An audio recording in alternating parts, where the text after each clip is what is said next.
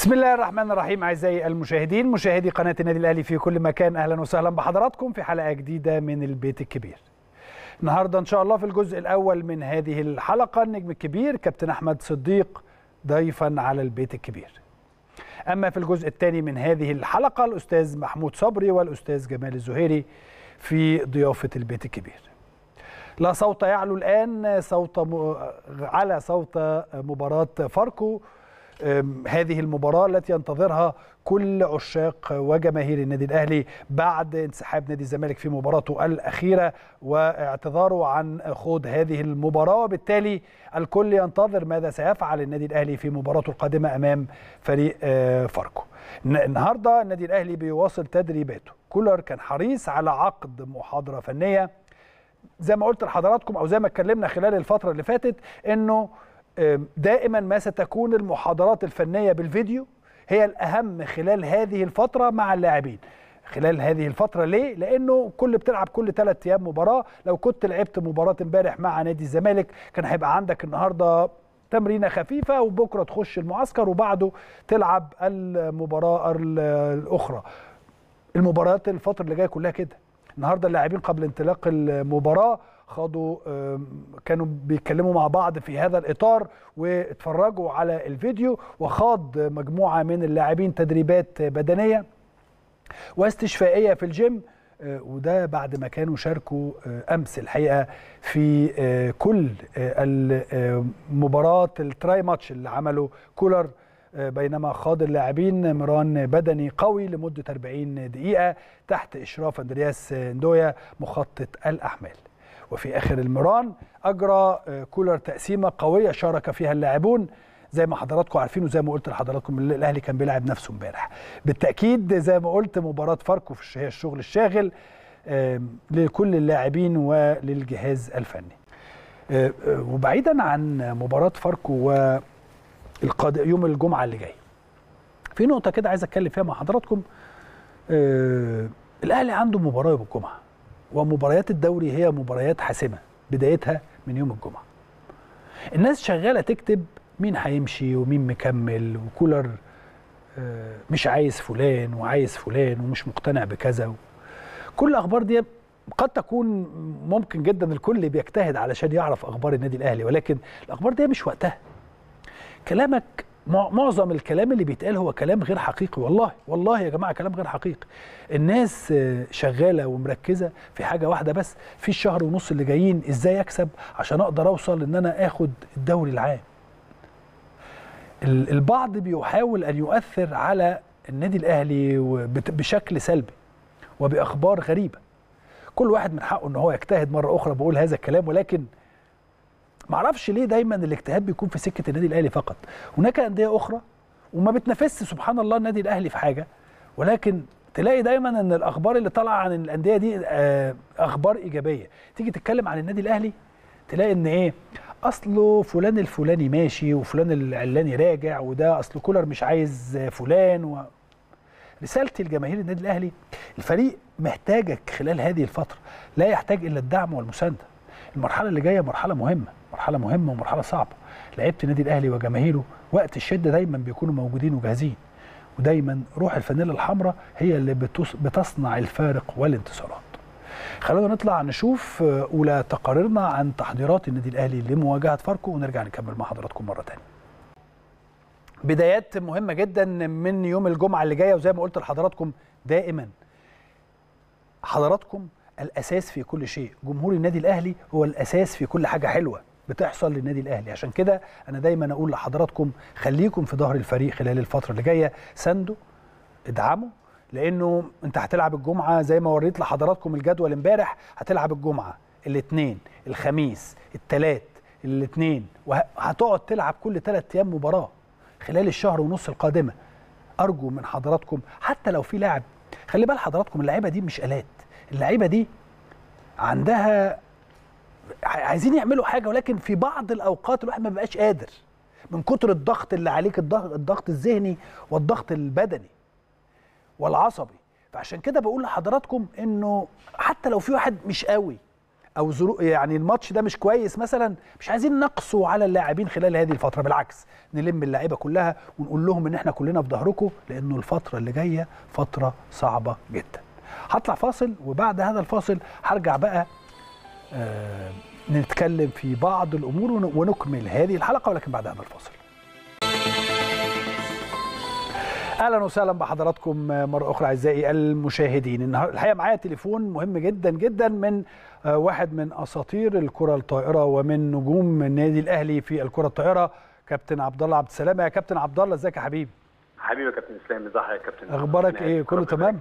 في نعم الحمد لله ربنا أمورك. كويسة والله الحمد لله ربنا. النهارده مش هسألك عن النادي الأهلي ولكن هسألك عن أولمبياد باريس 2024 ومجموعة مصر وشايف آه، منافسات ال- الأولمبياد آه، ومجموعة مصر عاملة إزاي في ظل الاستعدادات اللي إحنا سامعين عنها طبعا الأول برحب بحضرتك يا كابتن إسلام برحب. بالمشاهدين الكرام برحب بجميع النادي الأهلي آه طبعا زي ما حضرتك عارف الأولمبياد آه من يعني من أحسن البطولات اللي اللعيب ممكن يلعب بيها صحيح. ممكن يعني آه بعدها بيصبح على طول لاعب أولمبي. آه طبعا بيبقى حلم كل رياضي. أنا يعني الحمد لله رب العالمين آه، ربنا كرمني وتشرفت إن أنا مثلت مصر في في الأولمبياد. آه بنتكلم طبعا آه، الأولمبياد اللي جاية إن شاء الله رب العالمين بتاع باريس طبعا. مجموعة مصر بالنسبة للكره الطايرة طبعا صعبة جدا. آه. أتمنى الله سبحانه وتعالى يعني اللعيبة إن شاء الله تكون عند حسن الظن طبعا عندنا منتخب البرازيل. يعني برضو قول لنا البرازيل وإيطاليا وبولندا دول يعني في كرة الطايرة العالمية بيمثلوا إيه؟ ده طبعا ناس يعني category إيه يعني ناس تصنيف آه تصنيف أول و- وتاني وتلاقي رابع العالم. آه الدوريات القوية إيطاليا وبولندا و إحنا مرزقين بقى. والبرازيل. آه طبعا حظنا يعني. آه. بس هي كابتن إسلام طبعا عشان إحنا ال rank بتاعنا طبعا ال 19 على العالم. ممكن آه. يكون التصنيف بتاعنا هو اللي ودانا في الحتة ديت. صحيح. لو التصنيف بتاعنا كان قريب شوية كنا ممكن يعني يعني نلاقي فرق آه، ممكن يكون اللي يعني في فرصة ممكن نلعب معاها. آه، فهو التصنيف بتاعنا 19 على ما أعتقد يعني ما يعني بعد القرعة اللي اتعملت والقصة ديت ممكن يكون التصنيف ودانا للسكة ديت. أوكي. طبعا المواجهات صعبة جدا بين مدارس مختلفة من أقوى المدارس الموجودة في العالم كله. الدوري الايطالي من أجمد الدوريات في العالم كله. يعني ربنا برضو كرمني وتشرفت ولعبت في الدوري الإيطالي. آه، الدوري البرازيلي طبعا من الدوريات اللي بقى لها آخر خمس ست سنين ليها باع جامد ولاعيبه أقوياء جدا ومحترفين وسبونسرات جامدة. آه، بولندا طبعا نفس القصة. فريق طبعا محترم جدا وفريق آه، أسطوري فريق عالمي آخر كام كام سنة بيحقق بطولات. بينتزع من البرازيل وبينتزع من إيطاليا وأمريكا. بيخش معاهم بي- بياخد منهم بطولات زي دوري عالمي ممكن ياخد بطولة عالم آه، فطبعا الموضوع آه، صعب. إن شاء الله رب العالمين يعني إحنا دلوقتي المنتخب ربنا يكرمهم. آه، توجهوا لليابان عندنا عندهم معسكر لمدة خمس أيام. وبعدين عندنا أول خطوة إن شاء الله رب العالمين الصيف دوت كأس التحدي. عندنا أول مباراة مع قطر إن شاء الله تبقى يوم 4 7 آه ربنا يكرمهم يا رب إن شاء الله رب العالمين كده تبقى بداية خير ليهم. ونقدر يعني نعدي من ماتش قطر وبعد كده بقى يعني step by step عشان ال يعني البطولة دي knock out طبعا اللي بيخسر بيطلع بره. فطبعا مواجهه قطر دي مهمة بالنسبة لنا. آه، ربنا يكرم لو كسبنا. آه، اعتقد ال- الماتش الثاني يبقى مع الصين صاحب التنظيم وصاحب الملعب. وإن شاء الله ربنا يكرم يعني ونروح في حتة كويسة إن شاء الله رب العالمين ونستفاد من كأس التحدي دوت. نعم. بحيث نجهز للأولمبياد. المنتخب بيضم عناصر عديدة من النادي الأهلي. شايف ده إزاي؟ في ظل إن النادي الأهلي دائما هو الممول الأول لكل المنتخبات مش في الطايرة فقط. أنا مع حضرتك كابتن إسلام طبعا بضم صوتي لصوت حضرتك. طبعا دي حاجة يعني طول ما الواحد يعني من ساعة لما لعب رياضة لحد وقتنا هذا طبعا بيبقى العدد الأكثر ويعني مش عشان الواحد أهلاوي يعني العدد الأكثر في كل المجالات وكل الرياضات بيبقى من لعيبة النادي الأهلي. إن شاء الله تبقى حاجة مطمئنة وحاجه تطمن الناس. آه طبعا مع لعيبة الزمالك المحترمين والأندية. الثانية إن شاء الله. آه نتمنى لهم التوفيق إن شاء الله رب العالمين. يعني أحسن فرقة الحمد لله السنة دي حققنا أربع بطولات. بالرجالة كانت موجودة والرجالة شاركت معانا والرجالة منضمة للمنتخب. أتمنى لهم إن شاء الله رب العالمين التوفيق. أتمنى لهم يأدوا بصورة كويسة. معاهم مدرب محترم ومعاهم جهاز فني محترم إن شاء الله. يأدوا يعني بصورة كويسة وإن شاء الله رب العالمين يكون عند حسن الظن يعني. فرناندو مونزو. المدير الفني للنادي الأهلي هو اللي على رأس القيادة الفنية لمنتخبنا ال- الوطني. شايف الأمر ده إزاي؟ والله يعني هو أمر كويس وهيخدم كتير. طبعا المرحلة أو الفترة يعني هو الراجل موجود شهر أو 40 يوم لحد دلوقتي بيمرن اللعيبة. أيوه. آه يعني برضو كان حضرتك عارف آه، لما يكون مدرب اجنبي يخش على مجموعة كبيرة تضم مثلا 25 لعيب وأول مرة يعرفهم بس معظمهم لعب معاهم برضو خلي بالك. مظبوط الله آه، ينور عليك آه. دي برضو تقرب وجهات النظر في ناس آه، يعني 10 10 لعيبة فاهمين السيستم بتاعه. صحيح. آه، إحنا لعبتنا طبعا بتبقى في الاولمبياد بيبقى عدد اللعيبة 12 لعيب. آه، بطولة حجز كأس الاتحاد دي بيبقى 14 آه، فطبعا آه، يعني آه، العدد الموجود دوت آه، مع العدد اللي لسه داخل هيقرب وجهة النظر طبعا للراجل. آه، في ناس فاهمة ال system هو طبعا يعني مدرب كويس ومعاه طبعا معاه كابتن أنت علاقتك بيه يا كابتن عبد الله؟ لا ما يعني علاقتي بيه كويسة جدا والله أنا وأحمد صلاح عشان اتقابلنا معاه كتير. آه. وأنا وأحمد محترفين في طلب جلاتا سراي لعبناه في في تركيا كسبنا ماتش وإحنا خسرنا منه ماتش. آه. لعبناه وهو ماسك منتخب إسبانيا كسبناه الحمد لله رب العالمين. لا يعني علاقة محترمة أعتقد هو كمان من مس- قبل كده. مستمر مع النادي الأهلي ثلاث سنوات. آه إن شاء الله رب العالمين. يعني إن شاء الله تكون بداية خير كده أهوت لينا حصلت السنة اللي فاتت. إن شاء الله آه. رب العالمين يعني نكون آه، إحنا والرجالة إن شاء الله رب العالمين على قد السنة الجاية وقد. التحدي إن شاء الله ونكمل آه، بصورة كويسة وأحسن كمان. يعني في أحسن من كده كمان. يعني الناس الحمد لله مبسوطة باللي إحنا عملناه. لأ أنا شايف في أحسن من كده عندي ناس تاني. والله مش آه، يعني مش يعني مش مش غرور. لأ ده والله يعني أنا شايف طبعا. الناس في عندهم أحسن من كده. وإن شاء الله رب العالمين يعني زي ما حضرتك عارف الوصول للقمة سهل أهم حاجة الحفاظ عليها. نعم. ودي آه دي عندنا إحنا في النادي الأهلي يعني متعودين على المكسب ومتعودين إن شاء الله رب العالمين نحافظ عليه. فده بيتطلب منا إن شاء الله رب العالمين السنة الجاية مجهود آه، أكتر ومجهود آه، كبير من اللعيبة ومن الجهاز إن شاء الله رب العالمين. والجمهور آه، ورانا في ظهرنا والدعم من النشاط الرياضي ومن طبعا. مجلس ادارتنا فأتمنى من الله سبحانه وتعالى إن يبقى عنده حسن الظن الموسم الجاي إن شاء الله رب العالمين. وده نحافظ على عملناه دوت من سنه ولا اتنين. إن شاء الله رب العالمين خمس ست سنين قدام بإذن الله. بداتوا ولا لسه يا كابتن عبد الله؟ لا والله لسه لحد دلوقتي ما بدأناش. إن شاء الله رب العالمين يعني يعني هنبتدي إن شاء الله بعد الأولمبياد على طول بإذن الله. بعد ما اللعيبة ترجع. أجازة حلوة أهي ها؟ آه. لا والله يا كابتن إسلام برضك يعني زي ما حضرتك عارف يعني. آه. آه بنروح الجيم برضك ما بنسيبش لا طبعاً، طبعاً، آه. آه. الملعب آه بيوحشنا بس طبعا الاجازه آه. حلوة والبحر حلو زي ما حضرتك عارف. طبعا. الصيف جميل ومصر جميلة في الصيف فالحمد لله خدت. تان طيب ولا ما خدتش تان من البحر؟ لا. أنا عندي التن الحمد لله. لا إزاي؟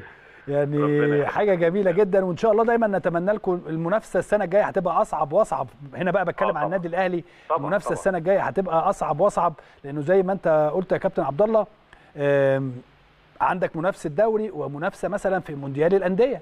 مظبوط مظبوط مظبوط والدوري منافسات صعبة كمان. يا كابتن اسلام يعني حتى يعني الفرق الكبيرة المحترمة زي نادي الزمالك آه، نادي الجيش آه، الأندية. سموحة سبورتنج بتروجيت. مش عايزين آه. حد من الناس المحترمة طبعاً. كل الفرق دي برضه بتدعم دعم محترفين أقوياء عشان طبعا عايزين يرجعوا تاني عايزين ينافسوا تاني على. الدوري وعايزين ينافسوا على الكاس طبعا فطبعا هتلاقي المنافسه كل سنة بتبقى صعبة مش سهلة يعني وده بيزود يعني الح... الح... الحماس عندنا والدافع اللي إحنا نركز أكتر واللي إحنا يبقى يعني عارفين مترجتين إيه وإحنا عايزين إيه من السنة الجاية ان شاء الله رب العالمين. فربنا يكرم ان شاء الله رب العالمين ونأدي يعني أداء أحسن من السنة اللي فاتت ونحافظ على كل عملناه إن شاء الله. وتبقى سنة سعيدة على النادي الأهلي يا رب في كل يا رب إن. شاء الله. أنا بشكرك شكرا جزيلا النجم الأسطوري للنادي الأهلي ولمصر ولمنتخب مصر كابتن عبد الله عبد السلام. شكرا جزيلا. طمنا الحقيقة على استعدادات النادي الأهلي خلال الفترة القادمة وأيضا طمنا على يعني أو أو يعني قلقنا الحقيقة على آه، آه، منتخب مصر ومجموعته في الأولمبياد البرازيل والصين وبولندا. الثلاث فرق ولا الثلاث منتخبات الحقيقة منتخبات أو بولندا و آه، البرازيل منتخبات قوية جدا جدا جدا. لكن عموما إن شاء الله ربنا يكرمنا في الفترة القادمة ونقدر لأنه الاستعدادات جيدة. للأولمبياد القادمة 2024 أولمبياد باريس 2024 النهارده ومنذ قليل تأهل نادي حرس الحدود رسميا إلى الدوري المصري الممتاز بعدما تصدر الدورة الرباعية وفاز على نادي سبورتنج بنتيجة 2-1 في الجولة السادسة والأخيرة من الدورة المؤهلة للدوري الممتاز. وبهذا يكتمل عقد الفرق المتأهلة إلى الدوري المصري الممتاز بصعود حرس الحدود من الدورة الرباعية وغزل المحلة وبتروجيت من دوري المحترفين. ألف ألف مبروك لفريق حرس الحدود اللي جوه قلبي. طبعا واحد من الأندية اللي أنا تشرفت أن أنا أكون متواجد فيها فبحبهم جدا ونتمنى لهم إن شاء الله التوفيق في السنة القادمة ويقعدوا في الدوري الممتاز. الحقيقة حاجتين بس عايز أتكلم فيهم مهمين جدا. إذا كان هناك ما يحسب لاتحاد كرة القدم وجهة نظري إنه يحسب لاتحاد كرة القدم دوري المحترفين. اتحاد كرة القدم عمل دوري محترفين على اعلى أعلى مستوى. بالنسبة لي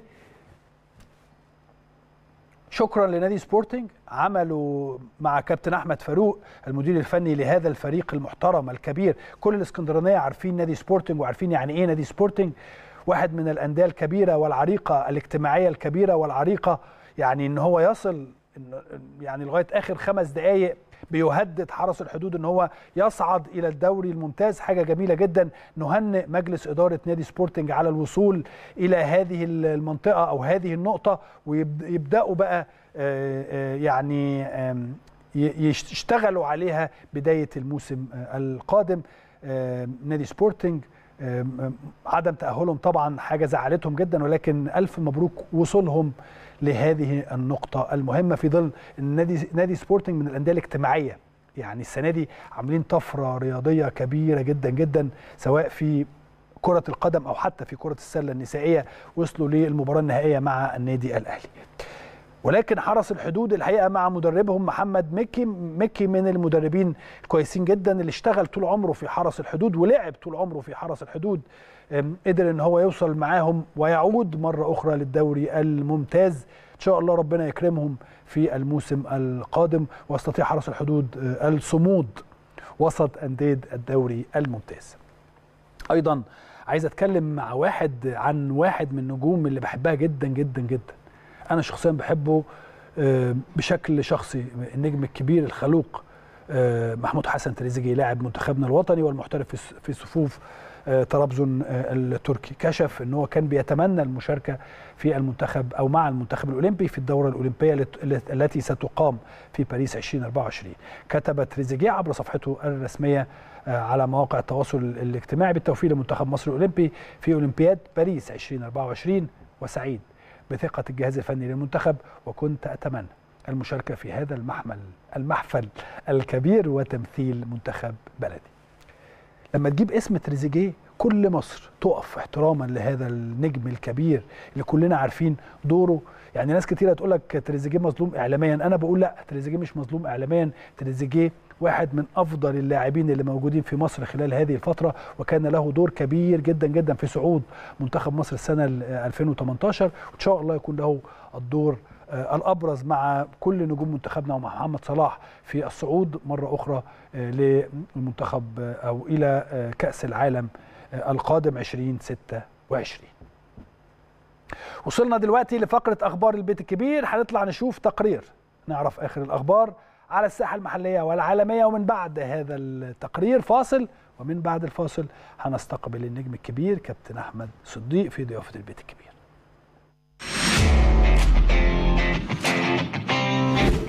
يواصل المارد الأحمر تحضيراته لمباراته المقبلة أمام فاركو يوم الجمعة المقبل ضمن منافسات الجولة الثامنة والعشرين من المسابقة ويسعى كولر وكتيبته لمواصلة الانتصارات وحصد كل النقاط في مبارياته المتبقية بمسابقة الدوري للوصول إلى قمة الترتيب والحفاظ على لقبه. أعلن نادي شختار دونيتسك الأوكراني ضم علاء غرام مدافع نادي الصفاقسي والمنتخب التونسي بعقد يمتد حتى عام 2029 وتعد تلك التجربة الأولى في الاحتراف الخارجي لمدافع الصفاقسي البالغ من العمر 22 عاما. يواصل نادي أولمبيك مارسيليا مساعيه للتعاقد مع الدولي الجزائري محمد بشير بلومي نجم نادي فرنزي البرتغالي خلال فترة الانتقالات الصيفية الحالية. ويسعى الفريق الفرنسي لتعزيز خط هجومه وتلبية مطالب المدرب الجديد للنادي روبرتو ديزيربي من أجل تقديم عروض جيدة وإحراز نتائج طيبة خلال الموسم القادم.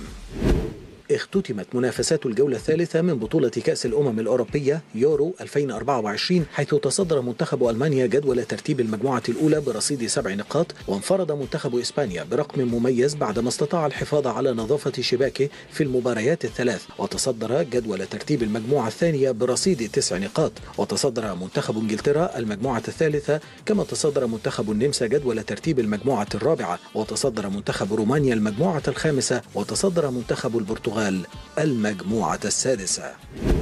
حدد نادي برشلونة الإسباني يوم العاشر من يوليو المقبل موعدا لانطلاق فترة الإعداد للموسم الجديد في المدينة الرياضية بأول مران جماعي تحت قيادة المدير الفني الجديد هانز فليك. ويأتي موعد انطلاق فترة إعداد برشلونة قبل أربعة أيام على انتهاء يورو 2024 وخمسة أيام على انتهاء كوبا أمريكا 2024 وبالتالي سيتخلف عن بداية المعسكر وفترة الإعداد والاختبارات الطبية جميع لاعبي برشلونة الدوليين. كشف الاتحاد الإنجليزي لكرة القدم رسميا عن موعد مباراة كأس الدرع الخيرية بين مانشستر سيتي بطل الدوري الإنجليزي ومانشستر يونايتد حامل لقب كأس الاتحاد الإنجليزي. ووفقا لما نشره الموقع الرسمي للاتحاد الإنجليزي فإن مباراة كأس الدرع الخيرية ستقام يوم العاشر من أغسطس المقبل على ملعب ويمبلي. يتصدر كريستيانو رونالدو نجم منتخب البرتغال قائمة نجوم سجلوا في أكثر من نسخة بتسجيله في خمس نسخ سابقة لبطولة اليورو رغم أنه لم ينجح في تسجيل أي هدف خلال النسخة الحالية. وكان النجم الكرواتي لوكا مودريتش صانع ألعاب ريال مدريد نجح في تسجيل هدف على الأقل في أربع نسخ من بطولة أمم أوروبا بعد تسجيله هدف منتخب بلاده في شباك إيطاليا. خرج برناباس فارجا نجم منتخب المجر بعد خضوعه لعملية جراحية في الوجه نتيجة اصطدامه بحارس مرمى اسكتلندا في مباراة منتخبي البلدين في يورو 2024 المقامة حاليا في ألمانيا. أهدى نيكولاس فولكروغ نجم منتخب ألمانيا مشجعا قميص المنتخب بعدما تسبب بالخطأ في كسر يده أثناء الإحماء في لقاء اسكتلندا في يورو 2024 المقامة حاليا في ألمانيا. وتعرض المشجع كاي فلاثمان لكسر في يده اليسرى خلال تلقيه كرة قوية سددها فولكروغ في عمليات الإحماء.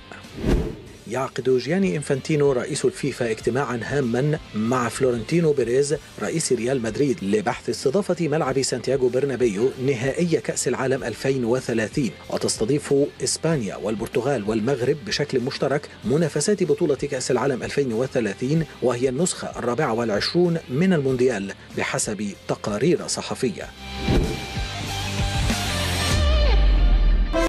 أهلا وسهلا بحضراتكم مرة أخرى أعزائي المشاهدين خلوني أرحب بضيفي وضيف حضراتكم في هذه الفقرة نجم الكبير كابتن أحمد صديق إزيك يا أبو حميد إزيك يا كابتن إزيك يا؟ حبيبي أخبارك إيه كله تمام يا كابتن عامل. إيه؟ خير والله الحمد لله كويس حافظ على. نفسك أنت والدنيا آه تمام شوية هنعمل إيه يا كابتن أنت عارف غصب عني تلعب. شوية كورة ولا لسه والله بقالي كتير ما لعبتش لكن آه، انت عارف عشان الشغل بتاعنا طبعا بيبقى آه. مهم جدا تحافظ على لياقتك تفضل البدنيه محافظ على نفسك والشكل العام برضه بتعمل حاجة اليومين دول ولا لسه لا لسه شوية كده يعني في. أكتر من حاجة كده لكن ربنا يسهل أنا عارف إن أنت عايز تروح لوحدك دلوقتي أو يعني تبقى يعني- الأمور أفضل يعني يعني مش عايز أقول عايز لأن طبعا أنا مرتبط باسم كبير زي كابتن حسام البدري طبعاً، طبعا, طبعا. وده شرف كبير جدا لي أنا مرتبط طبعاً. باسم الكابتن حسام لكن يعني ما أقدرش أنكر بيجي أكتر من حاجة الفترة دي فعلا آه بس لسه مش قادر أخد القرار يعني مش آه. يعني الموضوع شفت مباراة الحرس النهارده وسبورتنج آه طبعا وطبعا آه، كويس حضرتك بتتكلم في كده بنبارك طبعا نادي حرس الحدود طبعاً. آه، مجلس إدارة وجماهير وطبعا على رأس القياده الفنية محمد مكي ودي دي السنة الثانية على التوالي طبعا. صحيح. ببارك له هو يستاهل كل خير و... ودي بتدينا دفعة كويسة يا كابتن اسلام آه. يعني حتى للجيل بتاعنا إحنا. ميكي عامل شغل هايل. آه طبعا ودي بتدي دفعة كويسة لينا بتدي ثقة للناس في الجيل اللي يعني لما يبقى مكي وقبل كده أحمد عبد الرؤوف وحتى أمير عزمي كان ماشي كويس جدا وفي أسماء تانية كتير. كل دي بتخلي الناس عندها ثقة في الجيل اللي, اللي موجود ده يعني. صحيح. فببارك لمكي ولجهازه تقريبا أحمد زهران وعاصم وكل الناس. واللعيبة كلها لأنه يستحقوا. يمكن إحنا وحضرتك برضو كنت موجود في نادي حرس الحدود وأنا كان ليا الشرف برضو إن أنا لعبت موسمين في حرس الحدود منهم سنة الصعود آه، مع كابتن سامي قمصان من الأندية المحترمة جدا جدا جدا. فنتمنى بس إن شاء الله الاستمرارية في الدوري الممتاز إن شاء الله. ال- الماتش النهارده ما بين سبورتنج وحرس الحدود راح وجه وراح وجه ولكن في النهاية يعني حتى يمكن في آخر دقيقة كانت الدنيا دي دي صعبة. حقيقه دي حقيقة. وللأمانة أنا سعيد جدا بأداء سبورتنج. هايلين. يعني. أنا سعيد فاروق جدا برضو عامل جدا. شغل يعني هايل. الأمانة يعني اسم بعيد شوية بالنسبة لنا أو بالنسبة لل اسكندرانيه للجمهور. عارفين أحمد آه كويس. طبعا أنا بتكلم كنادي سبورتنج. يعني بعيد عن المنافسة بقاله كتير جدا. فإنه يبقى متواجد يصعد لل- لل- للترقي وبعد. كده ينافس بقوة لحد اخر مش آخر مباراة لحد آخر دقيقة. يمكن تقريبا النهارده لو كان قدر يحقق الفوز كان هو اللي صعد. صح. فدي حاجة كويسة. نتمنى برضو الاستمرارية ليهم. نتمنى يبقى في فرق كتير كده يا كابتن اسلام وتقريبا برضو نادي سبورتنج من الأندية الجماهيرية في اسكندرية صح كده ولا سبورتنج أكثر يعني- اجتماعي يعني يعني بس بقصد اسم يعني برضه، مجتمع يعني من بس- على نفسه بس أقصد نادي سبورتنج حتى كنادي اجتماعي ليه اسم يعني. كبير يعني. طبعاً، ف- اسمه كبير. دي حاجة كويسة جدا آه، مرة ثانية وثالثه بنبارك لمكي وأنا سعيد جدا جدا بصعوده للمرة الثانية يعني. ال- الدوري العام السنة الجاية في وجود آه، آه، ال- ال- ال- المحلة وأيضا حرس. آه، حرس الحدود والفريق الثالث أعتقد وادي دجلة؟ لا لا، وادي دجلة ما صعدش، صح. آه، البتروجيت ال- البتروجيت بتروجيت، البتروجيت صح ده البتروجيت صعد من بدري قوي فعشان كده آه فعشان كده الواحد نسي. بتروجيت و المحلة وأيضا حرس الحدود. أعتقد هذا الثلاثي كان متواجد قبل كده فعارفين الدوري العام الممتاز هيبقى عامل إزاي؟ آه طبعا. ثلاث أسماء من الاسماء الكبيره جدا. بتكلم على بداية من غزل المحلة نادي من الأندية الجماهيرية الكبيرة جدا حقيقي. جدا يمكن هو النادي الجماهيري وعلى. طول كانت بتبقى ماتشاتهم صعبة جدا بالنسبة لنا يعني. آه، حتى آه. ملعب غزل المحلة. صحيح. آه يا رب بس إن شاء الله يقدروا يعملوا فرقة مع أحمد عيد. طبعا بنبارك لأحمد عيد برضو على الصعود يعني. متأخرة شوية لكن آه له على الصعود وأتمنى إن هم يقدروا يعملوا فرقة سيد عيد كابتن سيد عيد كابتن سيد عيد في بتروجيت وحضرتك جيل على غزل شوية. المحلة آه يعني فنتمنى إن غزل المحلة نرجع نشوفه زي ال- الأيام ال- ال- السنين اللي فاتت لما إحنا كنا متواجدين لأنه من الأندية الجماهيرية المهمة جدا حقيقي. جدا جدا. آه وكابتن سيد عيد طبعا في بتروجيت وللأمانة كانوا عاملين فرق كبير جدا يعني لا بتروجيت صعد من نص آه يعني عاملين فرق كبير جدا يعني جدا من, من بداية. الموسم يعني فبنبارك طبعا لنادي بتروجيت آه، تبقى عودة حميدة يا رب إن شاء الله طبعا حضرتك تقريبا برضو كان ليك ال- التواجد قبل آه، كده مع أنا- أنا ما بتروجيت بحبش أسكت ما بحبش إن أنا أقول إن أنا لعبت يعني بتروجيت برضو. فاقصد أقصد يعني أنت صعبين قوي صراحة انت بس برضه تقول إنه من من ال- من آه، الفرق يعني ومن الشركات آه. المحترمة حقيقي جدا طبعا شركة محترمة وكبيرة جدا. نتمنى برضو إن شاء الله ال- كل دي بيدي قوة للدوري الممتاز. الموسم الجاي إن شاء الله بإذن الله. طيب أغلقنا ملف القمة وفوز النادي الأهلي وثلاثة نقاط. بتضاف لرصيد النادي الأهلي 42 45 أه، وبالتالي تم إغلاق هذا الملف. ونبص بقى على مباراة فاركو. وده السؤال المهم بالنسبة لي إنه مباراة فاركو مباراة ما أعرفش ليه الناس شايفة إن هي مباراة سهلة مع إن أنا بشوف إن مثل هذه المباريات أصعب كتير جدا جدا من مباريات لفرق بتلعب في منتصف الجدول فقط. وجهة أكيد. نظري يعني آه طبعا. أكيد يمكن بداية آه، يعني مش عارف نقول إيه بس مبروك طبعا 3 بونت النادي الأهلي مباراه القمة اللي ما اتلعبتش لكن بالنسبة لنا 3 بونت مهمين جدا آه، في صراع ال- المنافسة مع بيراميدز آه، مباراة من ضمن المباريات المؤجلة اللي أنت يعتبر حسمتها بثلاثه بونت مهمين جدا. آه، بالنسبة لمباراة فاركو أنا ما فيش مش شايف إن في مباراة سهلة والدليل مباراة ال- آه، الداخلية أنت يعني كسبت المباراة وأنت متعادل بعد كده ترجع للمباراة و-. فما فيش مباراة سهلة خصوصا ان إحنا لو هتتكلم باعتبار إن كل المباريات دي من الدور الثاني ما فيش مباراة سهلة في الدور الثاني نعم. وللأمانة إن فاركو بيأدي بشكل كويس جدا مع أحمد خطاب. حتى نتائجه اتحسنت بشكل كبير جدا يا كابتن إسلام في الم... صحيح. لكن على كسبان. فكرة قبل الماتش الأخراني ده بيعملوا ماتشات كويسة بس بيتغلبوا أو بيتعادلوا. آه آه لا وكان بيكسبوا. يمكن لما يكسبوا كمان الاتحاد وده بيبقى برضه شبه إنه ديربي شوية يا كابتن إسلام في اسكندرية صح. فاركو والاتحاد. آه فدي أكيد هتديهم ثقة كبيرة جدا لفاركو ولكن الأهم من ده كله كابتن أنت محتاج الثلاثه بونت. أنت كالنادي الأهلي مش مهم انت بتلعب مين. طبعا. انت كل ماتشاتك بالنسبة لي وخصوصا المباريات المؤجلة أنا شايفها إنها مباريات كاس. لأن حقيقي أنت عندك فرق بنقط بينك وبين بيراميدز في صراع البطولة اللي هو شبه بقى محسوم بين أهلي وبيراميدز. أنت محتاج تحقق العلامة الكاملة في كل المباريات لحد ما تلعب بيراميدز في المباراتين. صحيح. فأكيد مباراة فاركو مهمة. كل المباريات مهمة جدا جدا في صراع البطولة يعني. آه، فاركو دائما من الفرق اللي بتعتمد على إن هي تقفل بشكل كويس وتعتمد على الهجمات ال- المرتدة. كيف يستطيع النادي الأهلي إيقاف هذه الخطورة؟ وكيف يلعب النادي الأهلي من وجهة نظرك؟ آه، أنا بشوف إن فاركو جيدين جدا في ال- التحول الهجومي. آه، دي حقيقة. يمكن حتى الهدف اللي حرزوه في مباراة ال- الاتحاد يمكن هدف آه، من الأهداف الجميلة في الدوري لهذا الموسم. آه. أكيد هو من خطأ دفاعي آه، وخطأ من مهدي سليمان حارس مرمى نادي الاتحاد. آه. لكن يعتبر هدف من الأهداف المميزة جدا جدا اللي ممكن تنافس بقوة على إنه من أفضل الأهداف. آه، لكن هو مبرا- آه، لعيبة فاركو بشكل عام يا كابتن إسلام آه. آه يعني لعيبة فاركو بشكل عام يا كابتن إسلام مع احترامي الكامل لكن هم عشان هم بالنسبة لهم يعني آه النتائج ما كانتش مساعداهم في, بداية الموسم فدلوقتي بيلعبوا بتحفظ كبير جدا في, النواحي الدفاعية وبيعتمدوا بشكل كبير قوي على الهجمة المرتدة وأغلب الفرق اللي بتلعب النادي الأهلي بتلعب بنفس الشكل يعني. مهم جدا النادي الأهلي بكرة أو أو وده الطبيعي بتاع النادي الاهلي يبدأ ضاغط لأنه الجمعة، آه. سوري يوم الجمعة يعني يبدأ ضاغط لأن هدف مبكر هيحل كل الأمور دي يا كابتن اسلام. خصوصا مع الفرق اللي بتعمل تكتلات دفاعية آه وأنا شايف إنه الاهلي محتاج 3 بونت فأكيد آه مستر كولر بيلعب بشكل متوازن بشكل كبير جدا لكن الهدف هو يبقى 3 بونت يعني اللي مطلوب من النادي الأهلي زي ما أنت قلت الثلاثة نقاط آه، يعني أنا بشوف ان بغض النظر ما أعرفش برضو رأيك في هذا الأمر ولكن بغض النظر عن المهارات وعن التكتكس وعن أنا وجهة نظري الثلاث نقاط هي الأهم.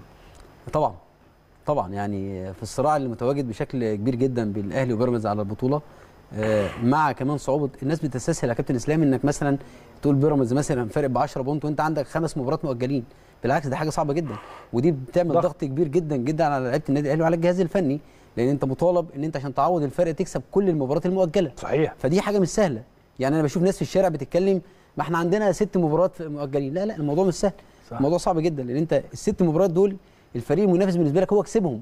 فخلاص عمل الفرق وهو مرتاح. لكن أنت محتاج تكسب الست مباريات دول عشان تقرب الفرق لحد ما عندك مباراتين مع بيراميدز بشكل كبير جدا. ومن من وجهة نظري هم ممكن يحسموا بطولة الدوري يعني.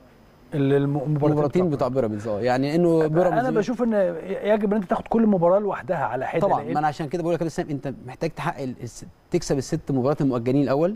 هم ستة تقريبا مظبوط كده ولا ستة آه أنا؟ 3 في 6 ب 18 آه صح. 18 بونت. هتبقى أنت 17 فارق فرق آه. تبقى أنت فارق ببونت آه، لو كسبت الست مباريات. وبعد كده هتلاعب بيراميدز مباراتين مباراتين دول هيبقوا ب 12 بونت مش ب 6 بونت بس.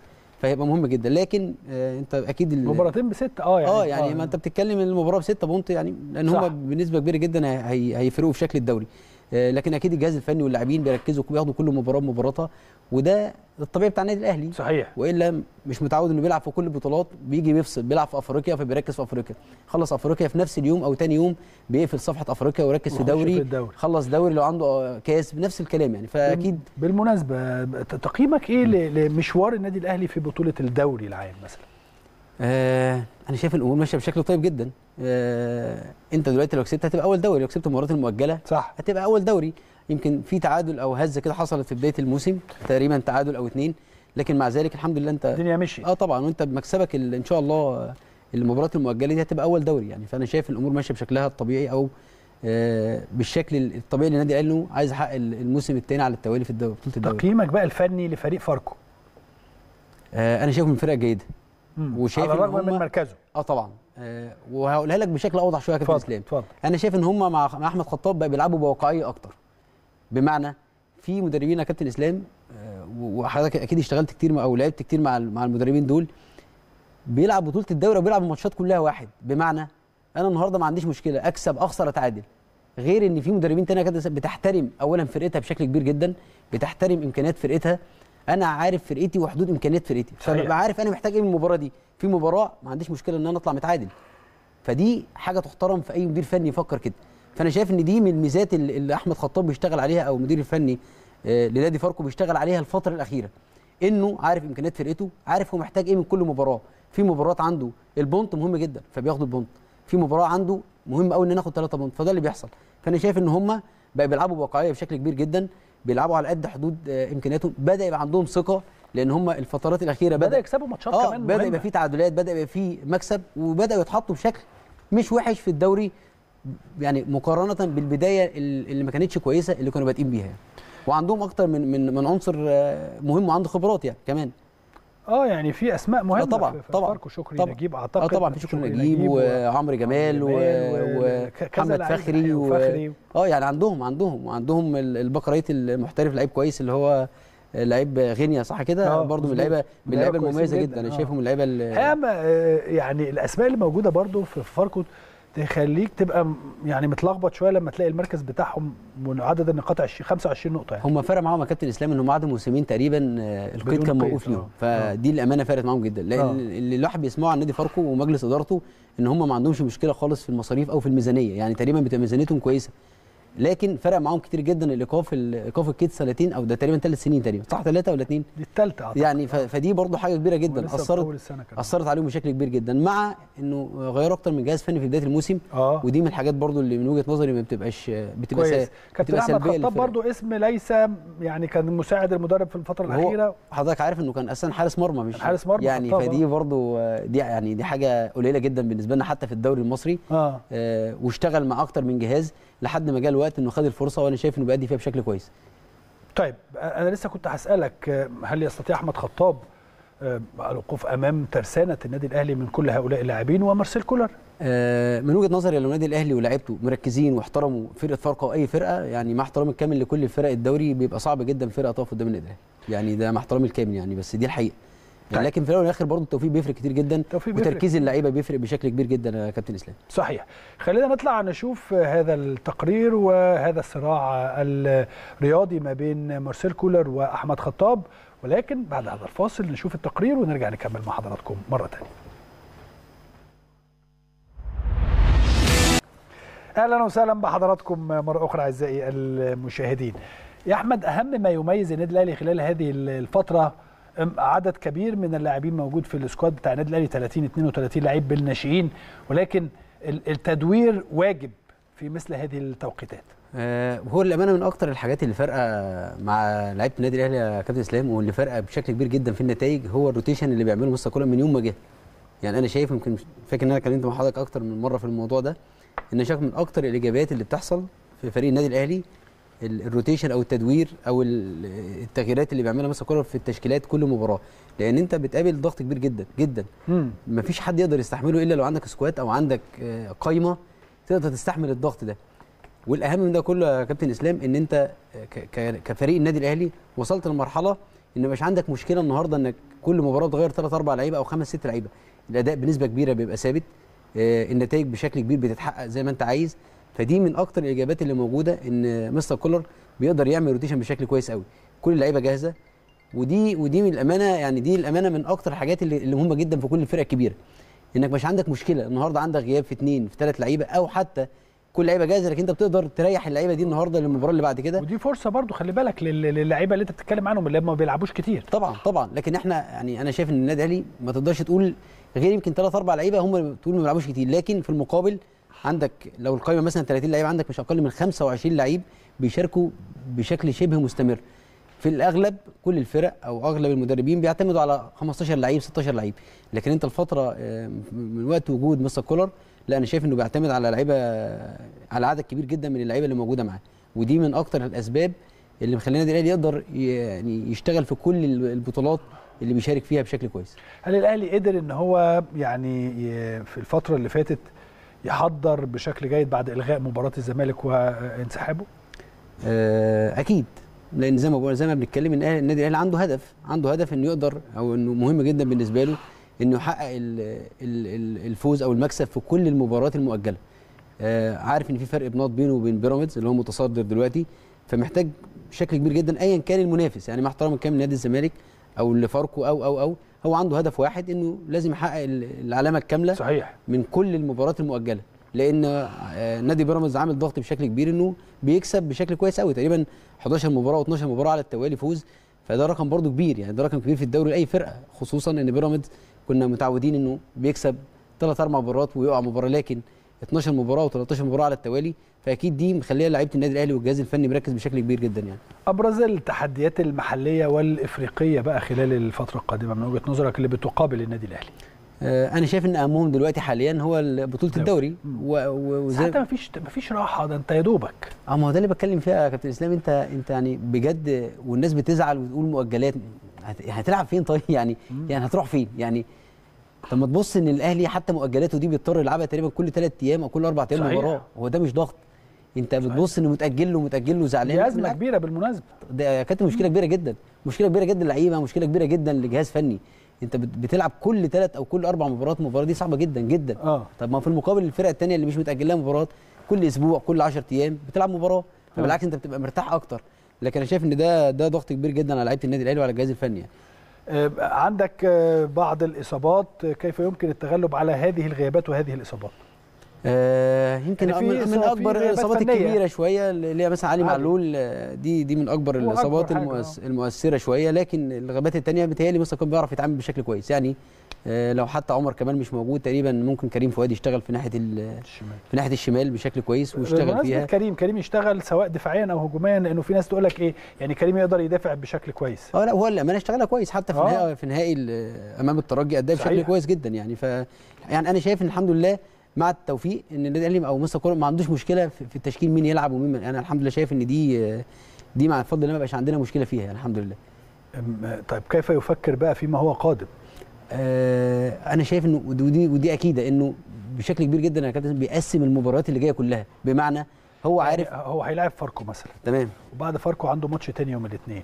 هيفكر في ماتش يوم الاثنين ولا يخلص فاركو الأول لا أكيد أكيد بيركز في فاركو لكن في الاعتبار أيوة. يعني في الاعتبار لكن بي- دي الأهم. آه طبعا. لكن في الاعتبار بيركز بيبص المباراة اللي بعدها. يمكن مثلا لو هتيجي مثلا في خط الظهر المباراة اللي اللي فاتت كان بيلعب رامي صح كده؟ رامي وعبد المنعم. لا أو العكس. أو رامي وياسر. واللي قبلها كان عبد المنعم. وياسر صح. صح, كده. أقصد فهو بيقسم بيقسم توقيت الماتش أكيد ده آه. بالتنسيق طبعا مع باقي الجهاز وبالأخص مدرب الأحمال اللي موجود لأن هيبقى ليه دور كبير جدا نيو، آه طبعا لأن يبقى ليه دور كبير جدا في تقسيم الأحمال بينه وبين اللعيبة. لأن كل ثلاث مباراة صعبة جدا آه، أوقات بتلاقي مثلا في نص الملعب آه، مروان و... أكرم وأكرم. وإمام. وأوقات بتلاقي آه، أليو. أكرم و... وإمام. وقفشة يعني أقصد فدي هو ده اللي بنتكلم فيه إن ال rotation مهم جدا يا كابتن إسلام وتاني وتالت ورابع ويمكن أنا حتى لما فكرت أو لما خدت الخطوة إن أنا آه ودي حاجة من الحاجات الكويسة بالنسبة لي لما خدت خطوة إن أنا أعمل معايشة مع مستر كولر كان لسببين مهمين جدا اولا اللعب أنا فاكر آه الطريقة اولا اللي بيلعب بيها اللي هي 4 3 3 دي كانت بالنسبة لي مختلفة إن كان حمدي فتحي ساعتها كان حمدي. فتحي وأليو ديانج بيلعبوا فدي كانت من من الحاجات اللي كانت ملفتة جدا إزاي 4 3 3 بتأدى بالشكل الهجومي ده مع وجود كمان حمدي مع إن حمدي كل الناس بتشوف إن هو عنده. نواحي دفاعية أكتر لكن وديانج كان بيعملها رائع كانوا بيعملوه. بشكل كويس جدا فدي كانت من الأسباب السبب الثاني الروتيشن اللي بيعمله بشكل كويس قوي إنه إزاي يقدر يجهز ال ال ال القايمة كلها إنه كل واحد يلعب في أي وقت ما عندوش مشكلة أنا النهارده ما بلعبش بالمباراة اللي جاية بلعب وبادي بنفس الطريقة وبادي بنفس الشكل. والنتيجة بتتحقق والهدف بيتحقق وباخد في الاعتبار طبعا عشان آه. عارف إن كان الناس بتعلق إن ال rotation أو التدوير آه في, في, في الأماكن في المراكز آه يعني بشيل النهارده كابتن إسلام back right وبلاعب آه، اكرم back right دي ما عنديش مشكلة فيها كان بيجي أوقات الناس بتعترض على إنه بيلاعب ناس مش في مكانها. آه دي أكيد. لكن برضه أكيد بيبقى هو ليه وجهة نظر فيها. مم. لكن ال rotation الصحيح اللي بنتكلم فيه إن أنت النهارده عندك باكين right أو عندك ثلاثة أربع مدافعين بتقسم المباراة بينهم بعض دي حاجة كويسة جدا ودي حاجة من الإيجابية. حتى الحمد لله حراسة المرمى ما بقاش عندنا مشكلة فيها مع رجوع الشناوي مع الأداء المتميز جدا جدا اللي كان بيأدي بيه آه، مصطفى شوبير. فالحمد لله حتى دي ما بقاش عندك مشكلة فيها يعني. المباريات القادمة هل من الممكن إن إحنا نرى في كل مباراة بما إنك بقى بتقول كل شوية هيعمل آه، تدوير. هيعمل كل شوية rotation هل هنلاقي مثلا ماتش فاركو يلعب ب 11 وبعدين الماتش اللي بعده يوم الاثنين يلعب يغير 6 7 تانيين وبعدين الماتش اللي بعده يغير 6 هو هو هو بيعمل كده يعني ده الطبيعي ودي حاجة كويسة. الناس الناس بتبقى قلقانة لما بيعمل كده خلي بالك. ما هو إحنا بنتكلم ماشي قد يكون كويس بالنسبة لك لكن الناس بتبقى قلقانة. لا بالعكس في ضغط المباراة يا كابتن إسلام وحضرتك لعبت في ليفل عالي جدا سواء آه، النادي الأهلي صح، أو, صح. أو المنتخب أو لا ده مهم جدا. دي ميزة يا كابتن إسلام. ميزة إنك تقدر تحقق الهدف بتاعك. وإن عندك هم هم يعني اللعيبة لو سواء لعبت إسلام لعبت أحمد صديق هي دي بقى هي بس بتفرق بقى كابتن إسلام. أنت إزاي أنت موصل لعيبتك كلها إيه؟ مفيش أساسي واحتياطي. وده نجاح لأي مدرب يا كابتن إسلام إنك آه. تقدر توصل إن كل اللعيبة اللي عندك مفيش أساسي واحتياطي وتقدر توصل لهم إن النهارده آه، أنا بلعب أو أو فلان بيلعب الهدف واحد والنتيجة واحدة. هو ده النجاح يا كابتن إسلام. هو ده النجاح إنك ما تعتمدش على خلينا نتكلم بوضوح أكتر. كان عندنا مديرين فنيين يا كابتن إسلام كان كل مشكلتهم 11 وكانوا بيحققوا نتائج. كانوا بيحققوا نتائج. حد مع النادي الأهلي. آه ما أنا بقول لك كان بيحققوا نتائج. ولكن كان بيعتمد على إيه؟ مش أكتر من 13 أو 15 لعيب. بس كان بيجي وقت ال- الفرقة كانت بتقع. صح. ولا غلط. لكن أنت بتتكلم مع مستر كولر دي من النجاحات إنه الحمد لله بقاله سنتين بينافس على كل البطولات بشكل كبير جدا. يعني تقدر تقول تقريبا 90% من البطولات اللي أو أكتر من 90% كل البطولات اللي شارك فيها النادي الأهلي في وجود مستر كولر اتحققت بشكل كبير جدا. ده كله بسبب أو أو أو ليه دور كبير جدا ال rotation اللي بيعمله إنه مجهز كل اللعيبة نفسيا وبدنيا وفنيا إن أي حد فيهم يلعب في أي وقت. فده من النجاحات ال- ال- ال- المهمة اللي موجودة في النادي الأهلي. تشكيل بقى من وجهة نظرك يلعب بمين المباراة القادمة؟ تشكيل ال- اللي يلعب بيه المباراة القادمة. آه هيبقى محمد هاني ورامي وعبد المنعم لأنه في راحة أنا بقول كده بناء ان في راحة. لو جاي- كان جاي لعبه الناس دي. آه بالك كلهم شبه- جاية ماتشين كمان. آه يعني ما أنا بتكلم في كده. فأقصد بناء على إن ماتش الزمالك ما اتلعبش يعني. صحيح. فنقدر نقول محمد هاني آه رامي وعبد المنعم وكريم فؤاد آه مروان. هنلعب من غير حارس مرمى؟ أما إحنا لا ما بلاش ال- مروان؟ مروان. ما خلاص إحنا بنقول دي الحمد لله مش عندنا مشكلة لكن هيبقى أكيد الشناوي. آه. الشناوي طبعا. الشناوي طبعا. وهيبقى مروان في نص الملعب. أتمنى قفشة وإمام عاشور. الاثنين. آه أنا أتمنى لأن حتى. لما لعبنا كده ادينا بشكل كويس قوي حتى قفشة يعني أحرز هدف من الأهداف الجميلة جدا في الدوري. صحيح. وهو لعيب مهم جدا. أنا أنا بحب وجوده. أنا بحب وجوده جدا في الملعب قفشة. قفشة وم- و... وإمام حسين الشحات و وأقول رضا سليم وكهربا. رضا سليم. آه. مم، بس هو رضا الماتش اللي فات آه يعني أنا لأن بيرسي تاو تقريبا مصاب يعني لو لا لا بيرسي مصاب فأنا أقول قفشة و... و... وإمام ونقول مش وسام أبو علي يعني مش ما هو مش. عارف وسام هو لا، وسام جاهز. وسام آه، وسام لو جاهز برضه مفيش مشكلة لكن أنا أقول كهربا ممكن يكون أقرب شوية أقرب إن- وبعدين آه ياخد واحدة واحدة لأن وسام. لسه راجع من إصابة يعني برضه مش مش قصيرة أو أو آه، فمحتاج أكيد إنه يدخل مره واحدة واحدة شوية. يعني آه بالظبط كده ال- ال- الدوري العام السنة دي تحس إن هو دوري مختلف يعني شكله غريب هو فعلا مفيش دوري بيقعد كل الفترة دي. صعب جدا. و... وإحنا بنقول إنه لازم يكون في دوري استثنائي يا كابتن إسلام لأن مش صعب جدا جدا إنك نقعد نبطل طب, الكلمة دي طب يعني. هنعمل إيه يا كابتن إسلام؟ كل سنة نطلع بنقول نقول نفس الكلام والله. طب هنعمل إيه؟ ما هوش ده الحل فعلا يا كابتن إسلام؟ ده الحل هل أنت. هتفضل في نفس الدايرة دي إنك تيجي في كل موسم تبقى محتاج الضغط ده والتأجيل ده وتخلص في شهر تسعة 8 ولا تمانية. 9 وتبدأ تاني؟ فصعب جدا جدا. وده إجهاد جامد جدا على اللعيبة وعلى الأندية كمان مش اللعيبة بس. ما هي اللعيبة الأندية بتتحمل إصابات اللعيبة دي وبتتحمل كل ال- المشاكل الفنية اللي بتحصل.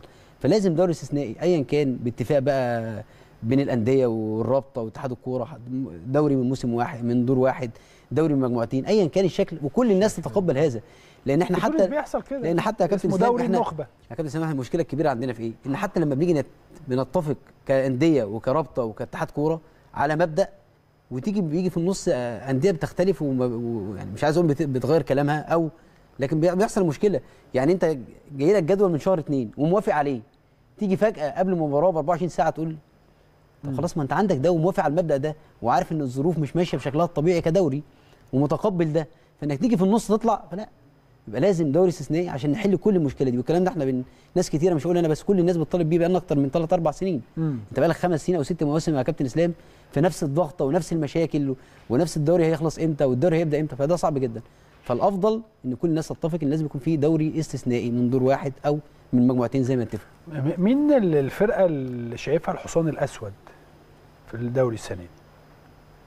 ما كنتش آه. متوقع إن هذا الأداء ويعملوا هذا الأداء أو يعني حتى ما هو النتائج بص يا كابتن في في فرق كنت أقدر أقول عليها كده لكن الأداء مؤخرا بدأ يبقى آه وحش. آه يعني زي نادي زد يعني آه. كان ماشي بشكل كويس قوي قوي لحد فترات طويلة بس الست برضه خلي بالك قعد فترة طويلة ماشي آه ما أنا يعني بتكلم في كده ما أنا. بتكلم كده إنه كان ماشي كويس قوي قوي قوي قوي كان واصل لنقطة كويسة قوي لكن مؤخرا بدأ الأداء آه لو هتسألني أنا بقى بشكل آه وما تستغربش اللي أنا هقوله ده يعني أنا شايف إن بيراميدز ليه؟ مفاجأة آه مفاجأة إنه يفضل في في الاستمرارية دي بتاعة الفوز مم. فرقة كبيرة جدا ونادي عنده كل الإمكانيات للمنافسة على كل البطولات وعنده لعيبة على أعلى مستوى لكن ال- الاستمرارية في الفوز هي دي. آه هي دي اللي أنا شايفها إن الحصان الأسود السنة دي مش نادي بيراميدز بتكلم على الأداء أو على النتائج أو الطفرة اللي حاصلة في الاستمرارية بتاعة الفوز مم.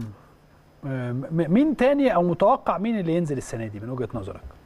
سؤال صعب لكن لكن هقول لك في ناس أنا تقول لك يعني في فرقتين أو أو ومش عايزين برضو نقول يعني عشان الناس ما يعني لا يعني, يعني أنت بتتكلم هنا عن مقاولين عنده يعني- مشكلة كبيرة يعني جدا في فرقة عندها مشاكل. ما حدش نزل طبعا آه لكن. في فرقة عندها مشاكل كبيرة جدا أنا شايف. المقاولين مقاولين والداخليه داخليه بلدية مقاولين داخليه بلدية يعني أقرب لكن كل طالما لا طبعا كرة القدم فيها كل شيء. البلدية السنة الأسبوع اللي فات ما هي عاملة مفاجأة كبيرة جدا بالفوز على زد وده اللي بتكلم ال- الداخلية الداخلية الأسبوع اللي قبل كسبان الجيش كسبان الجيش الجيش تقريبا آه يعني برضه آه ف برضه في ثانية ممكن كل حاجة بتتغير عشان كده بقول لك البلدية عامل موسم رائع مع أحمد عبد الرؤوف ولكن تم. انتقالته طبعا بسبب ال 5-0 برضه طبعا دي نتيجة. تقيله طبعا نتيجة تقيلة طبعا جدا. نتيجة تقيلة جدا آه لكن أنا شايف إن رؤوف آه، لكن في فاركو قريب في بنك أهلي قريب في فرق كتير جدا. إسماعيلي قريب يعني- في جونة بس الجونه تقريبا الجونه 31. ماشي كويس برضه يعني بيقدر يكسب ماتشين ثلاثة ورا بعض فبيفرقوا كبير بشكل كبير جدا. آه. لكن في في ثلاث أربع فرق تقول قريبين شوية.